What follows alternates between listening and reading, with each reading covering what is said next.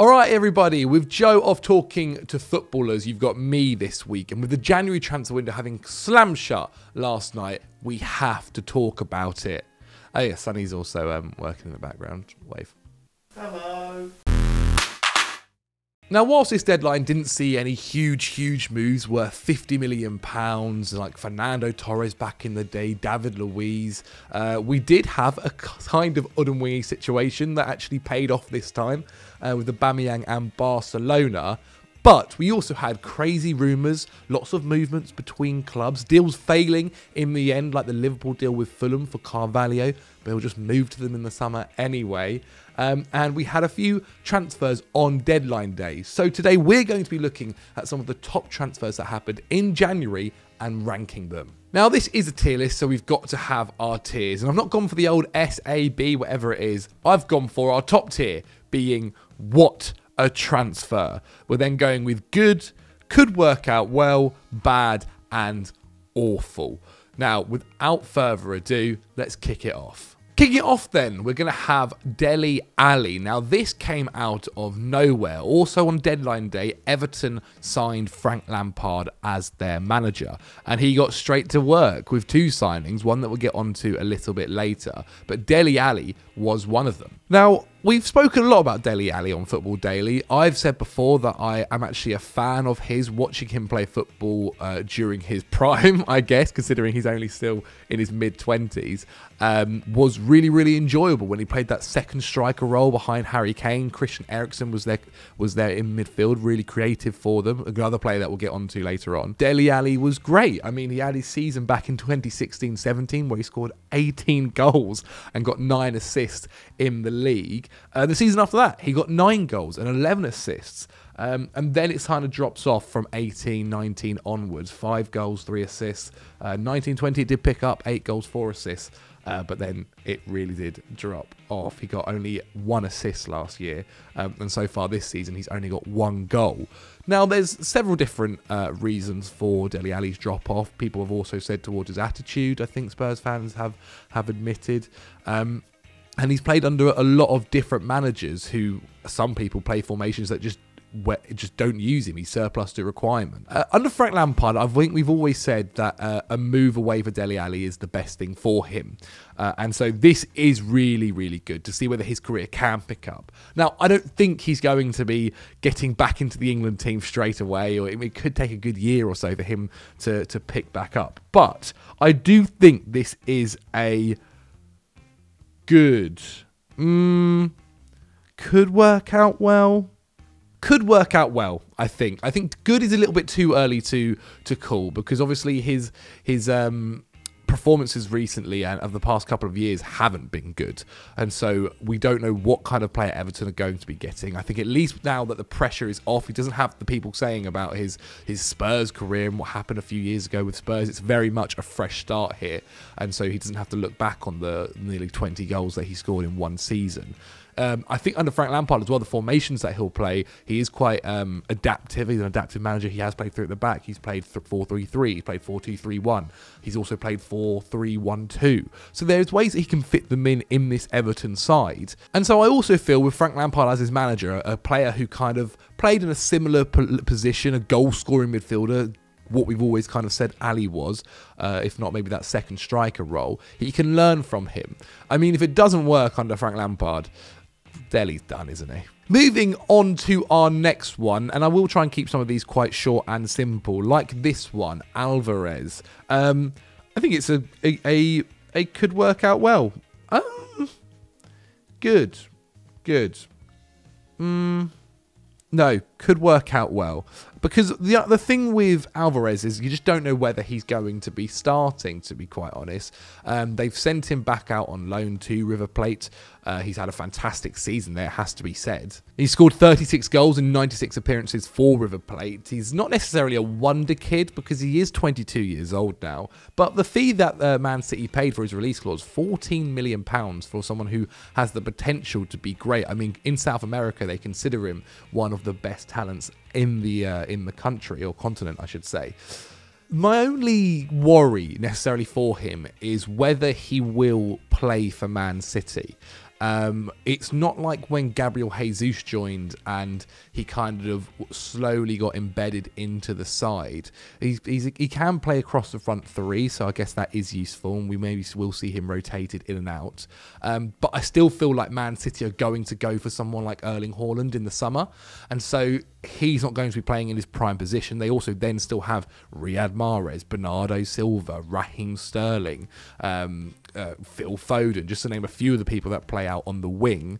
Um, also, keeping in mind they've got Cole Palmer as well, who they who they really like and want to bring into the side. And so I have a feeling that maybe he won't quite feature that prominently for Man City, and in two, three years we may see him sold on. He may not be the level that Man City need for him over the next couple of years. But who knows, it might work out. 14 million euros really isn't that much, especially to a team like Man City. They've beaten Manchester United, who were also interested um, to the post for him. Gone back on loan to River Plate. I assume probably will go on loan again next season. So overall, it's it's it's fine. It could work out well. Lucas Digne now. Now this one is quick, simple, good good. Maybe, mm, maybe teetering on what a transfer, but uh, for now it is good. It's really good. Um, obviously, uh, we've we've said for a while on Football Daily, especially me, that I think Aston Villa um, could always improve in that that left back department. Ma- Matthew Targett, Matty Targett, uh, is a Premier League left back, he's fine, but he's always someone that could have been improved, and they have done. Um, obviously, with Frank Lampard now at Everton, I'm pretty sure he's quite fuming that he's missed out on Digne. But Lucas Digne's come into this Everton side. He's an improvement already. Started pretty well, even though he was maybe at fault for one of the one of the goals in his first game. Um, yeah, I think it's a really, really good transfer. Uh, as I said, maybe not quite what a transfer because that's only going to have a couple of people in it, and I'm already thinking about who's going in there now. But really good transfer. We all know the level that Digne uh, plays to, and I think it's perfect for for Steven Gerrard. Moving on to Brentford now, uh, and we have to look at the transfer that they brought in, Christian Eriksen. Uh, going into good this um, because Eriksen for for some team like Brentford where they didn't necessarily have that creative midfielder. is very much Mbeumo and and Toney up top, uh, and they're kind of three in midfield. Norgaard uh, and the the other two that are just escaping my mind right now weren't necessarily the creative monsters, and so they have kind of missed out on on a creative midfielder. Eriksen's perfect for this. Obviously, it's great to see that five months on from what happened in the Euros, he's back and he's he's been given a chance to play, and hopefully we do see the same player. Because also towards the end of the season for Inter Milan, when obviously he won the Serie A for them as well, was very very instrumental in that. But towards the end was really really good too for Antonio Conte. And to be quite honest, even if Eriksen performs at just a 6 out of 10 for the majority of his time at Brentford for these six months, like it's still a good transfer. They've paid nothing for him. Um, I think Eriksen has the dominant hand here because if he does have an unreal six months, he's not signed that extra year, meaning he can maybe get an improvement. He doesn't have to worry about um, a, a, club having to pay a transfer fee. He can move as a free agent. Um, but if he has a half decent one, then he can maybe sign a bit of a long term contract with Brentford in the summer. He gives himself enough time to kind of reevaluate his reevaluate his options in the summer. So yeah, I think that is definitely a good transfer. Pierre Emerick Aubameyang to Barcelona. Now this mm, good could work out. Good could work out.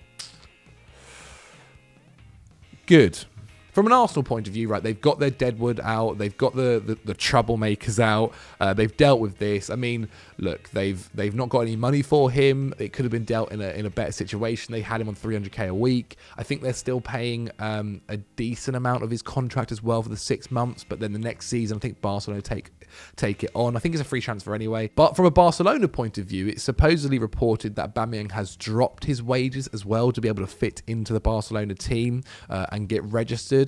So overall, if they're not paying him dramatic wages like he was on at Arsenal, 300k a week, maybe he's on 150, 100, uh, I think it's pretty good. Like, okay, Aubameyang hasn't been good for the past couple of years now. Since the season, he scored 22 goals back in 2019-20. I mean, before that, it was another 22 goals in the league. Uh, but even last year, it was 10 in the Premier League with three assists and 29 appearances. It's not, it's not terrible. It's not obviously 300,000 pounds a week worth.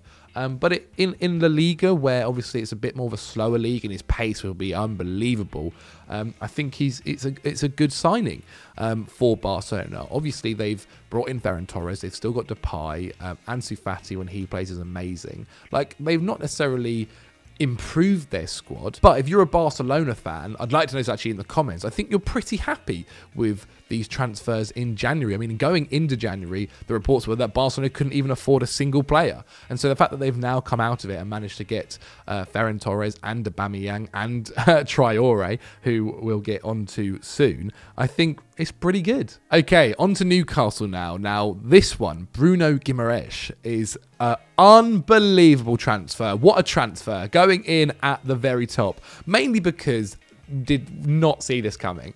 I mean, he was linked to Champions League clubs.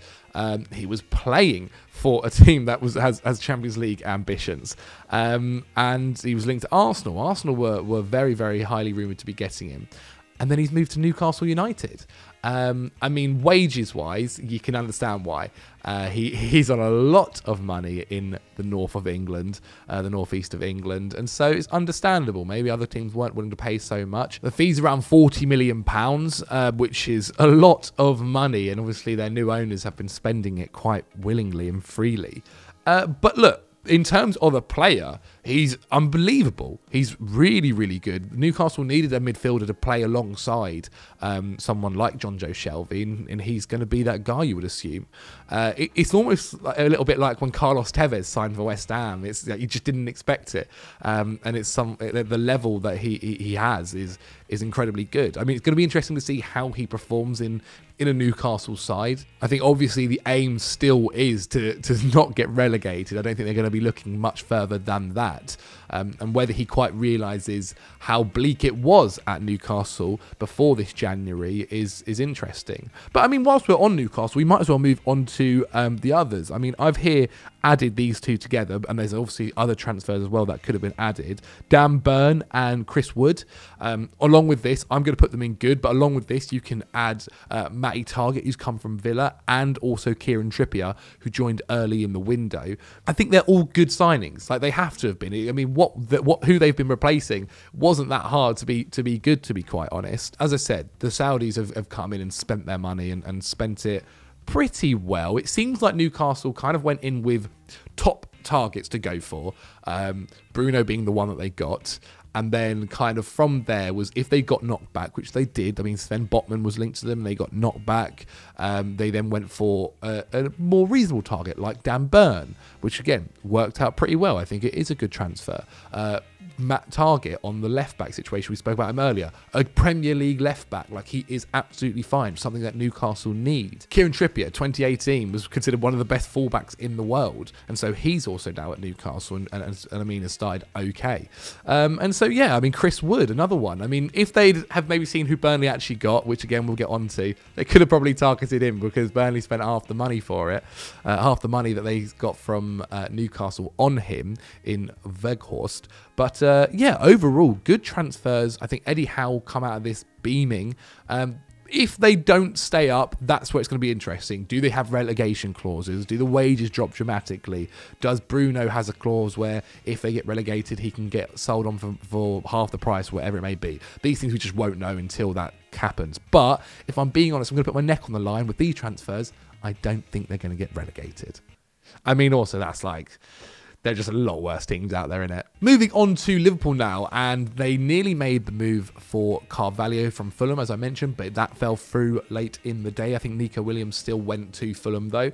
Um, but the guy that they did sign, Luis Diaz. Now this oh, could be a what a transfer. It could be what a transfer. It's good. It's good. It's good. It's good. Now I'm going to explain why it's good because oh, is it good? No.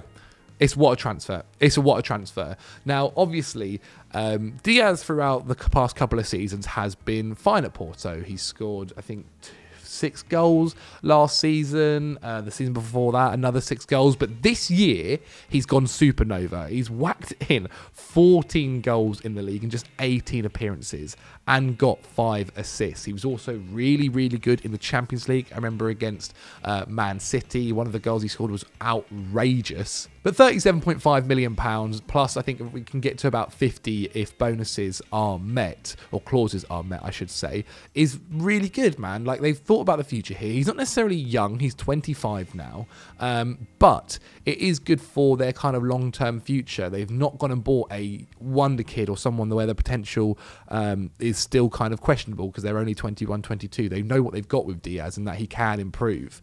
I mean, Liverpool just make fantastic business signings every single time, it feels like. And with this situation, it also helps them out in the long term. Like, he's not going to replace Salah or Mane this season, but it will be a slow kind of integrated into the side for this six months, probably the first six months of next season as well. And then you might see, start to see him possibly replacing one of them when they hit their 30, 31, 30 age, uh, and more so Mane at that. I mean, contract talks as well, it puts them in a good advantage for any of the kind of um, of those two in Mane or Salah. We've spoken a lot about Salah's contract. Um, if any of them are complaining too much, they can kind of say, "Well, look, we've we've got a guy that is a kind of ready-made replacement. He's already fitted into the side. He plays really well. Uh, I mean, this is a little bit of predicting the future, but you would assume so. Um, and so, you know, if you don't drop your wage demands, we'll just use this guy instead. It's not the end of the world. And so overall, from a from a Liverpool point of view, it's fantastic. It's a really really good move. Fair play to Diaz as well. Um, overall, yeah, what a transfer. What a transfer indeed. Philippe Coutinho now. Um, good. Mm, mm, I'm going to go with could work out well, but I feel like it actually, if I could, I'd put it on half and half. Uh, mainly because, look, Coutinho isn't the guy he was when he was playing for Liverpool. Uh, mm, is it good? I feel maybe a little bit harsh putting him could work out well. Oh, I really don't know. I really don't know. Could work out well. Yeah, screw it. I'll stick to my guns. Uh, as I said, like I feel like this is is is fine. Um, I don't know whether they're going to buy him in the summer. It's an option to buy with 33 million pounds, which is fine. And obviously Gerrard came in and just showed his pulling power straight away. Got one of his old boys back. Um, and so far, obviously, he's had a, had a very good game against um, Manchester United when he came on. Uh, and so actually, no, you know what? Because that is a good transfer it is a good transfer, and I, I, feel like we will probably start to see more of the Coutinho that we all we all know and love from from back in the days. He's had a rough time at Barcelona, and actually, yeah, good transfer, good transfer. I've changed my mind. Moving on to the Tottenham boys, Kulusevski and Bentancur. Now, this is going and could work out well. Um, obviously, they've got rid of a few players. Uh, Lo Celso went to Villarreal. Tanguy Ndombele we'll get on to. Um, I'm trying to think if they've missed out on anyone else. Who's that? Huh? Bryan Gil. Hill as well also was sent out on loan. Um, and so, yeah, bringing in these two, I think, is fine. I mean, Bentancur is an absolute pressing machine. He'll run his socks off. Obviously, bring in um, the, the Ginger Swede, as he's always in my head, as. Um, on the on the right wing too. And so like I think they're fine transfers. Um, they are very much ones that that could work out well. My worry is I'm not necessarily expecting them to hit the ground running. Obviously they've not been playing at Juve this season. Juve aren't aren't necessarily in the best of form either. But one thing I will say is if these are what Conte wanted and they are the men that he wanted, which I also again don't feel like they are 100%, then they're they're they're fine. Conte obviously wanted Diaz as well, and he went to Liverpool instead. And so they're fine transfers, but I'm not necessarily expecting them to light up the league. I'm really, really not. One thing that is good from Spurs is they have got out again the troublemakers, I guess so, like a little bit like Arsenal. Maybe not troublemakers, but but players who who weren't playing and were eating up huge wages, like Ndombele. Um, and so these guys, I think the thing for them is the bar is set low. The bar is set very low, and so they've not got to do too much to at least be half impressive. And, and I guess at least with Bentancur, it's a little bit more of a, a, a, different option in midfield to what they have currently. Okay, whilst we're speaking about Spurs, we might as well speak about the guys that they have loaned out. Bryan Gil went to uh, Valencia on loan. and Villarreal got Lo Celso. But the one I want to talk about is Tanguy Ndombele. Now, I'm going to put this in bad for one reason only. Is I've currently got no one else in bad. Um, and, and I'm looking at the rest of the options and I don't know whether they're going to be going in bad either. Now, the reason I'm going to say that he's going in bad is if Lyon actually buy him for the option that they've been quoted of 54 million pounds in the summer. I mean, that would be a ridiculous fee considering that Spurs paid 63 million for him back in 2019. He is Spurs' record signing. It's tough with Ndombele because there is certainly a player there, a talented player there, and someone who, when he is on his day, is a game changer. He's one of the best players on the pitch. He's a joy to watch on the pitch. He's fun. He's athletic, um, skillful. but we've not seen that a lot for him in Spurs and, and in the Premier League. And sometimes it just doesn't work out for players in the Premier League. But he could easily go back to Lyon here, and Lyon do need a, a boost um, for the way that their season is going. Season is going, and he could be that man if he goes back and, and becomes the guy that he was uh, previously to joining Spurs. It's a great transfer for them. But as I said, right now I just think if they get the Tanguy Ndombele that we've seen for Spurs, it's not good. And if they do go and buy him in the summer for the option that they've been quoted, it's bad. And no one else is in bad. And I couldn't really go without this whole video without putting someone in bad. Let me know if you think there was a, worse transfer in this video or that we speak about in general in the comments below. Moving on to Everton again, and we're going to talk about Van der Beek. Uh, could work out well straight away. Again, even teetering on on good. Um, I mean, from his point of view, he needs to go to the world, or he wants to go to the World Cup in the uh, in the winter time. He needs to play football to do that, and he's played zero football at Manchester United. It's a sad one because I think when he joined United, everyone expected a lot from him, and and and it's not that he hasn't proven it. He's just not played. Under Ole, he wasn't playing, and now under Ralf, he's not playing. Um, for Frank Lampard, it's it's interesting. I mean, there's a lot of midfield options now. Um, Gomes, Doucouré, Allan were already there. Now they've got Dele Alli. Now they've got um, uh, uh, Van der Beek, who's just completely blanked out of my mind. And there's also some of the youngsters as well who, who've played who played in midfield sometimes for them. Um, and so there's definitely ways to fit him. I think he won't necessarily want to play. He won't necessarily be playing in the position he wants to, especially now that Dele Alli has joined. Um, but maybe more of a centre mid role, maybe more at times as well DM. But I think right for him, he just wants to be playing. And I think at least with Everton, and if he can prove the level that he, he can get to, or, or we know he can get to, like he was at Ajax, then he will be playing week in, week out. I think overall it's a could work out, out well transfer. Again, could even be good. Could even be good. Moving on to Barcelona again, actually, and we're going to talk about Adama Traore. Um, it's a fine move to Barcelona. Again, goes and could work out well, like a, quite a few of these guys. Actually, looking at some of them, I feel quite bad for Alvarez. I feel like I should maybe move them up, but I'm not going to. Once they're in there, I'm not changing them. Um, but yeah, no, Traore at Barca. From a Barca point of view, again, it is pretty good. They've they've not paid a fee yet. It's on loan. Um, I think they will pay all of his wages as well um, for the for the rest of this season. And if it works out well, they can buy him in the summer. I've not seen the reported fee yet for how much that will be, but Barcelona have Ansu Fati, who is fantastic, but he is injured quite a lot. And so for a rotation option in Traore, I think that's pretty good. And who knows, maybe Traore will finally find his end product in Spain. We've always said that Traore has all the capabilities to be a great footballer, especially a great winger. He is ridiculously quick, super strong, great on the ball. But what he isn't good at is that end product. From a Wolves point of view, you're not missing out on much. He scored one goal this season and wasn't really creating that much. He didn't have a single assist. And by the end of the his time at Wolves, under Bruno Lage especially, Bruno Lage wasn't even playing him. He was benching him. He was bringing him on with like 15 minutes to go. And so I also kind of feel like Wolves have gone, you know what, we trust you here, Bruno. Like Bruno is Lage's has shown the manager that he he is and, the, and, and, a good level of a manager that is. And so going, look, if if if we can get a good amount of money here for Traore in the summer and you don't want him, is that fine for us to do then, Lage And Lage said, yeah, that, that's absolutely fine. Um, I mean, I wasn't necessarily on the call, so I don't know if it is exactly word for word like that. But yeah, it could work out well for both clubs, to be quite honest. Yeah, it's fine. Dusan Vlahovic. Um, let's go quite quickly and put it in a good transfer for Juventus. Now, if Arsenal have bought him, had bought him, I should say, I think it probably would have gone into could work out well. Um, he has been elite for the past season and a half. He's scored 21 goals last season. He's on 17 already this year in just 21 games when he's playing for Fiorentina. But it is worth mentioning the season before that, when he played 30 games, he only scored six goals. Um, and so uh, like there is a guy that has broken onto the scene. He was very young when he scored six goals, and then the season after that he scored 21, and he scored 17 this year.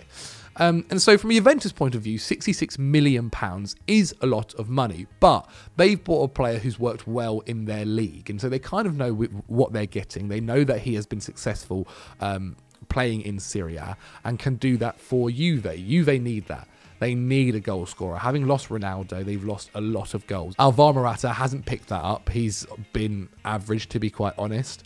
Um, and so, yeah, getting in someone like Vlahovic kind of secures their future for them. I think this season it doesn't look like they're going to win Serie A, but next season with someone like Vlahovic, and if he if he continues to keep banging in goals, they're back up there in the title race and in the title contention. Fiorentina couldn't really do too much about it. Like Vlahovic said, he basically wanted to move now, and and and obviously the right amount of money came in for them to do so.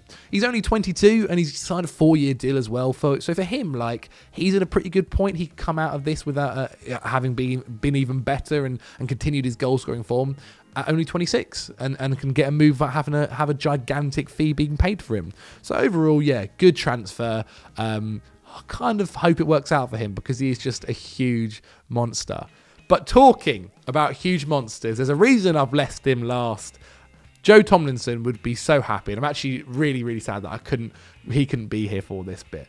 Um, but Wout Weghorst, what a transfer! Six foot six, Wout Weghorst. What a boy. Now, from a Burnley point of view, this is unbelievable. They got paid about 24, 25 million pounds for the big boy Chris Wood from Newcastle.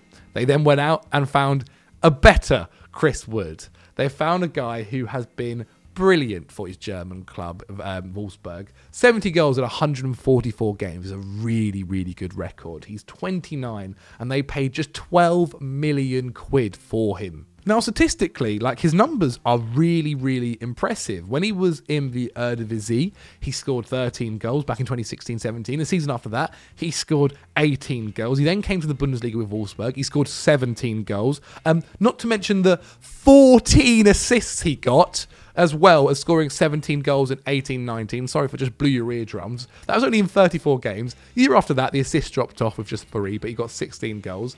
Last season, 20 goals, nine assists. Already this year, not not not saying it was six goals and one one assist. But from a Burnley point of view, like with the way that they play their football and the way that they need a target man, you can't get much more of a target man than a six foot six Weghorst. Like he's un he's not unreal. He's not unreal because otherwise every club in the world would be getting, getting him. But for Bar for Burnley, I nearly said Barcelona, but for Burnley, he is great. It's a good signing. I really hope. I really, really hope this works out um, for him. He is just a monster, and for Premier League defenders, like it's going to be a tough, tough job marking him. But for 12 million pounds for a guy of his caliber, like he's also a pressing machine, works so hard for his team.